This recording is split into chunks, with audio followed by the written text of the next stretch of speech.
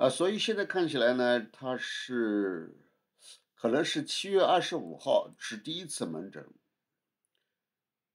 这个东西怎么会有一个 B 超已经甲状腺 B 超已经做过的这样一个，也就是实际上前面还有门诊，也就是七月二十五号不是第一次门诊，这怎么回事呢？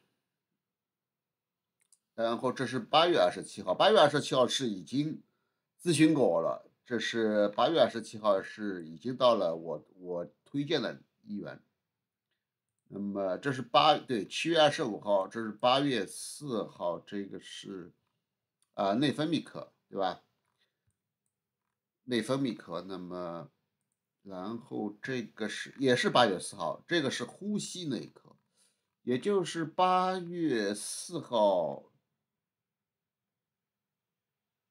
他发过来八月四号的门诊，他发过来两个科室的门诊门诊记录，对吧？然后，也就是讲，你看他主诉胸部 CT 发现肺部结节，这个胸部 CT 到底是什么时候做的呢？是体检吗？对呀，他因为写的这里是体检发现甲状腺结节，然后居然因为甲状腺结节到内分泌科，这个呢是不对的。你甲状腺结节，这个甲亢呢是到内分泌科的，这个呢也难怪老百姓。所以这个事情，你说谁错吧，又没有谁错，他自己去挂内分泌科。又没有人来拉拢，说你要你你应该到对，又又没有人诱导他到内分泌，实际上应该到头颈外科或者普外科，对不对？因为你体检发现甲状腺结节嘛，对不对？怎么会到内分泌科呢？但是也怪不了谁了，好像表面上看也怪不了谁了，也因为也没有人诱导他到内分泌科。但是问题是。对呀，你查体，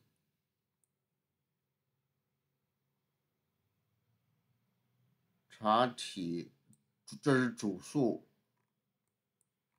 主诉，主诉腺病史、既往史查体，查体，然后辅助检查、门诊初步诊断、处理、定期复查、超声、治疗计划。那是甲状腺功能啊，对不对？所以呢，这里是有问题的。比如说查体，呃，虽然你是内分泌科，不负责结节的外科手术处理，但是你既然写了病史主要是结节，对不对？你而且你查体也做了，这个也没错。问题是，你查体去查了个腹部，你甲状腺结节应该摸一下。虽然这个，虽然这个手术处理是外科的，但是你既然病人到你这里，而且你也已经查体了，而且你也知道结节了，而且你也做了触诊了，为什么不触诊一下甲状腺呢？头颈部位呢？啊，这也是个问题。啊，这些问题就就是说来说去啊，这些问题就是反映了。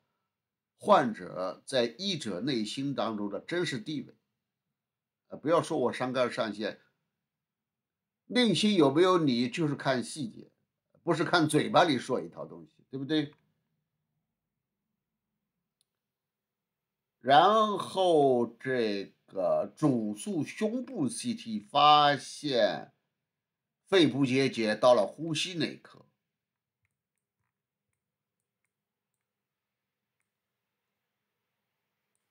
这个胸部 CT 是什么时候做的呢？是体检，体检做胸部 CT，体检做胸部 CT，这个也太野蛮了吧！体检居然做，他也没写，只不过你胸部 CT 从天而降，哪里来呢？这个，这个应该你写主诉，既然你知道了别人病病人是曾经做过胸部 CT，你这个主诉应该应该写什么时候做了胸部 CT，还是体检时胸部 CT，或者是某年啊，或者一年前，或者一个月前胸部 CT，对不？你就。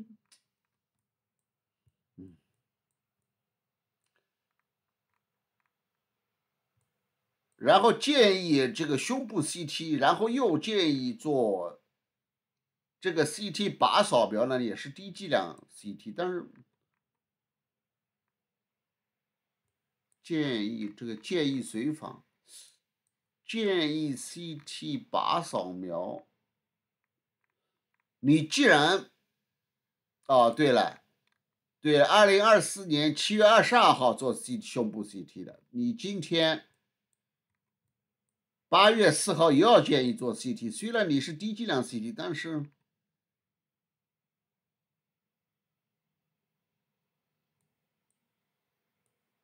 但是是不是这样妥当呢？七月二十二号做了 CT 了，你现在又做一次 CT，虽然是低剂量，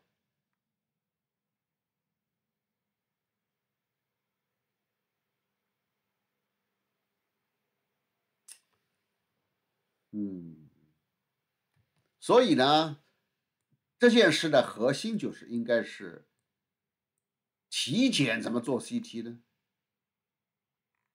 还是这个七月二十二号到底什么情况下做 C 胸部 CT 呢？不知道，应该讲是体检，因为对不对？因为他是奔着体检去的，所以呢，实际上他真正这次整个这一段时期的就诊，主要是针对那个。